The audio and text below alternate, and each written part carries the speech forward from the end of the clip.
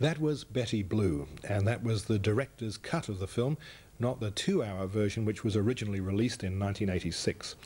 Quite a movie, and a great success for writer director Jean Jacques Beineix and his stars Beatrice Dalle and Jean Hugues Anglade. Next week, something very different. Not a feature film at all, in fact, but six Australian Indigenous short films produced by SBS Independent by six different filmmakers, which we're screening with the overall title Shifting Sands. That's next Wednesday. And from me now, good evening.